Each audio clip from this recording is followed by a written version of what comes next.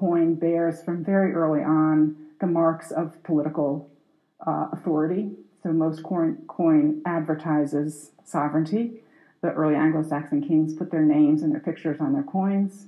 Um, and they're asserting basically that this is their tax credit and that they will take it back.